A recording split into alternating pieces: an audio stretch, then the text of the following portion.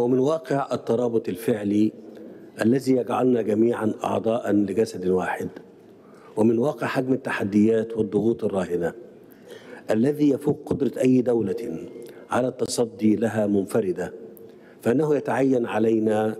تبني مقاربة مشتركة وشاملة تهدف إلى تعزيز قدرتنا الجماعية على مواجهة مختلف الأزمات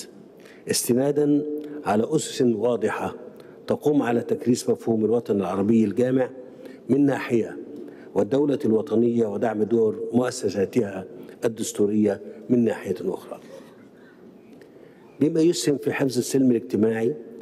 وترسيخ ركائز الحكم الرشيد